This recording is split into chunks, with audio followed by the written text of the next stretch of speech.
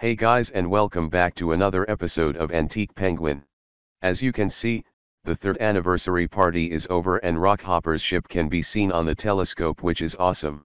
They also added coins for change donation stations at the town, plaza, and boardwalk which is also awesome and after you donated, you can get the volunteer stamp as well as a coins for change card which are both awesome as well.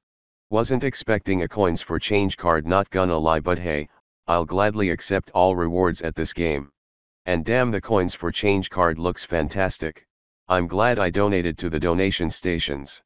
Definitely recommend you guys to donate to the donation stations right now since this will be the last time we will be able to donate cause the game is ending next year. And I donated at the plaza cause why the heck not. And lastly I will donate coins at the boardwalk for 5000 coins.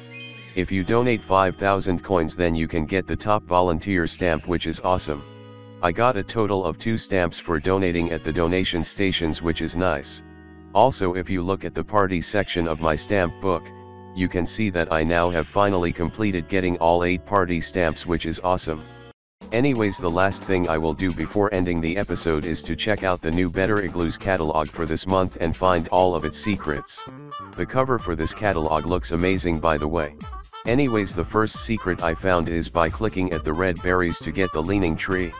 Really loving all the new furniture items at this catalog especially the ones at the Christmas collection not gonna lie as the ones at the Christmas collection are absolutely fantastic. And yes this will be the last time we will be having Christmas furniture items at the catalog so better buy them now. Anyways the second and last secret I found at this catalog is by clicking at the velvet rope to get the welcome mat. And that is pretty much it for this catalog as well as the episode. Pretty amazing catalog as I love the new Christmas furniture items at this catalog. Next video will be the second episode of Club Penguin Classic so stay tuned for that.